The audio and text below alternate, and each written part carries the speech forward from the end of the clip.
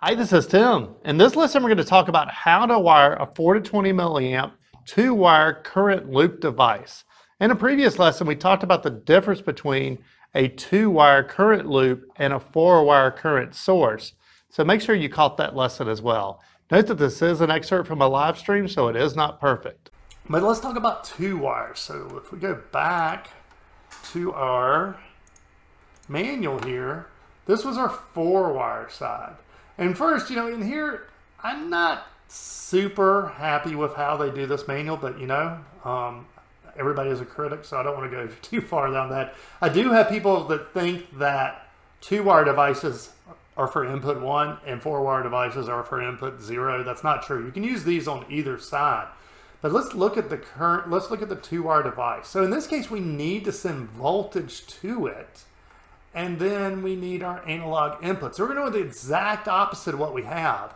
Now, one thing I didn't show is, yeah, now whether it's just me being kind of cautious or just being in usually horrific power environments, that's kind of coincidental since we just had a tree catch on fire uh, right by the training center. But, but, um, but I usually would not put the common, or in the two wires case, the voltage through the module.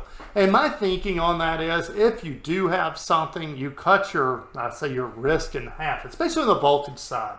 And we go out and we power something and we short the conduit, well, all that current's going to have to go through here. And I get they have protection and all those things, but I usually would feed it from the plus 24.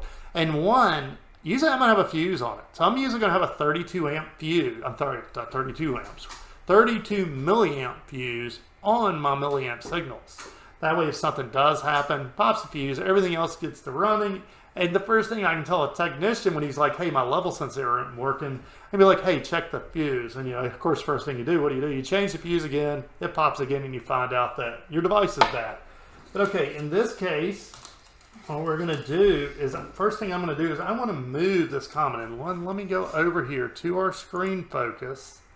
And let's go to, you see right now it's 16,380 roughly.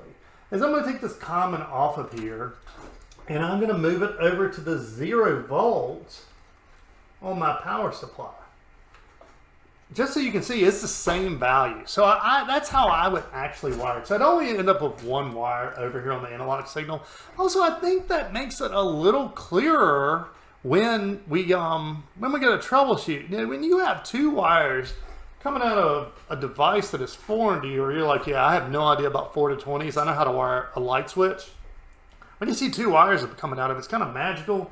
I mean, if I have 24 volt going to a fuse, going out to a device and coming back, that's almost like any other circuit. So I think it just removes a little bit of it. That's just me though. So now what we're going to do is we are going to make this a two wire setup. So if I go back right now, I can go up and there is current two wire. And I'm just going to pop one of the wires off of here just so we don't have to deal with any shorts or anything. And when I go to it, we're going to see that our PLC input is still our red, but see, it told us now we need plus 24 here, just like our drawing did.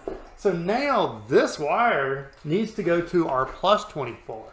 But first, let me do it exactly like they have it.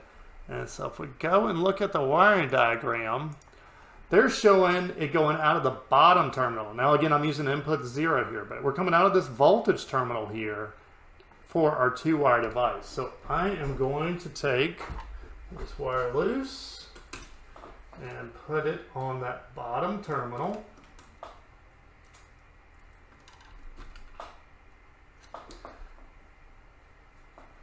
What?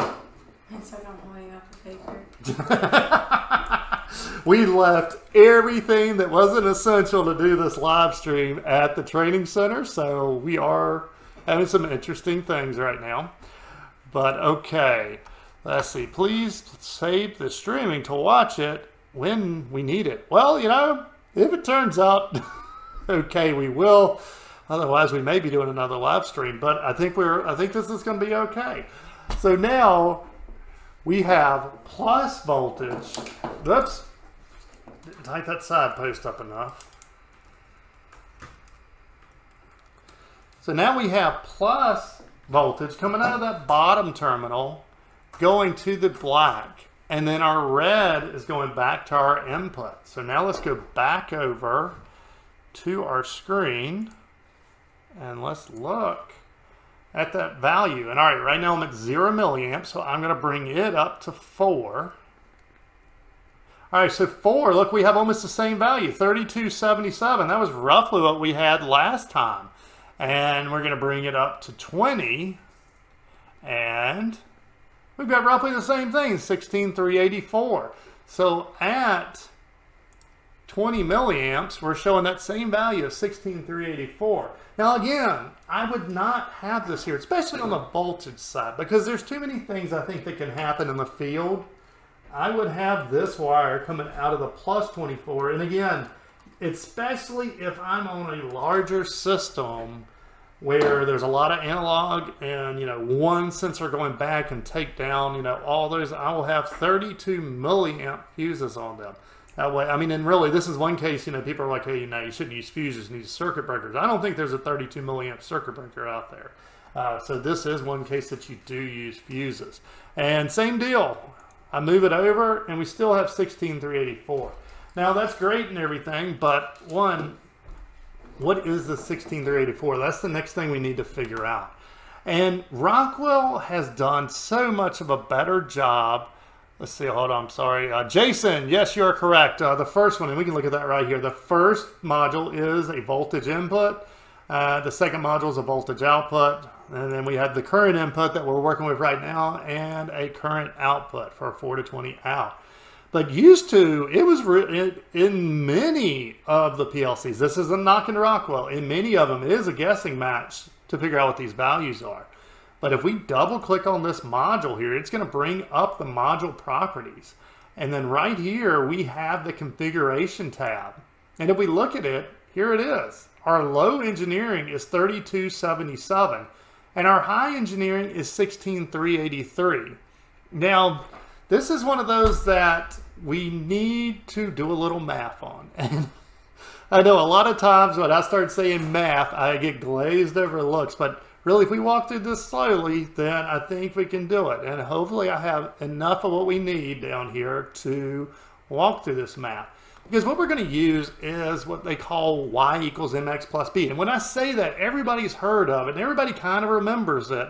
But then it's like, all right, I really don't know what it is. So if we look, here's,